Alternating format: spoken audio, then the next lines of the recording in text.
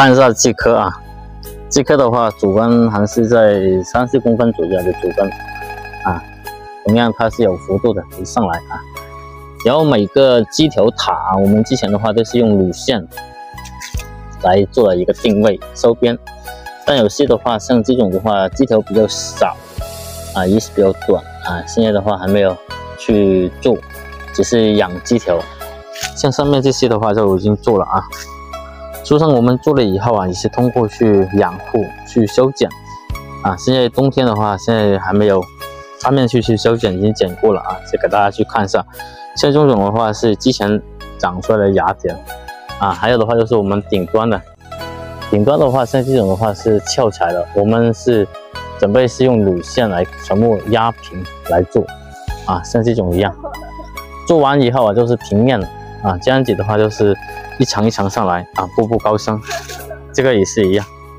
啊。书上的话顶端这基塔的话还没有做，就是翘起来，之前的话是用铝线。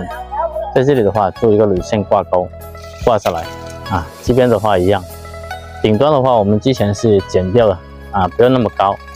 有些的话，因为我们现在这些的话有很多的树啊，现在只是保留在一米多高左右啊。可以看一下这个，这个的话同样也是剪掉了啊。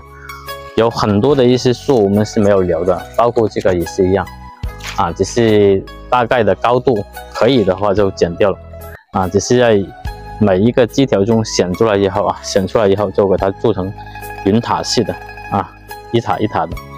看一下啊，如果说你们喜欢啊，可以在评论区留言啊，一起来聊聊。看一下现在的话，我们有些的话是不用上乳腺，同样的话它已经平长了，因为的话就是通过来修剪啊，这种的话修剪。